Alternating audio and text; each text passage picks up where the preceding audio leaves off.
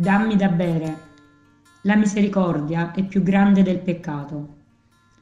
In questa terza domenica di Quaresima, anche a noi come coppia, come genitori e a tutti quanti Gesù chiede da bere. Lui prende l'iniziativa di entrare nella nostra quotidianità, nelle nostre famiglie. È il peccato, la miseria umana che brucia il cuore di Gesù. Lui ha sete di salvare.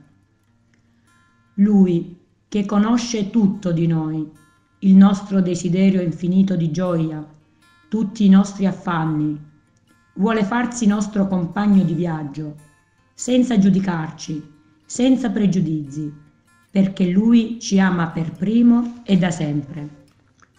Gesù vuole donarci la sua acqua di vita eterna, che sgorga dal suo cuore misericordioso, vuole colmare la nostra sete di felicità.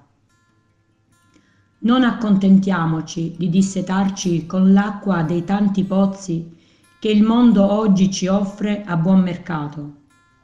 Riscopriamo l'importanza e il senso della nostra vita cristiana iniziata con l'acqua del battesimo e testimoniamo con coraggio, senza vergogna, la gioia dell'incontro con Gesù, che è sempre dono di grazia.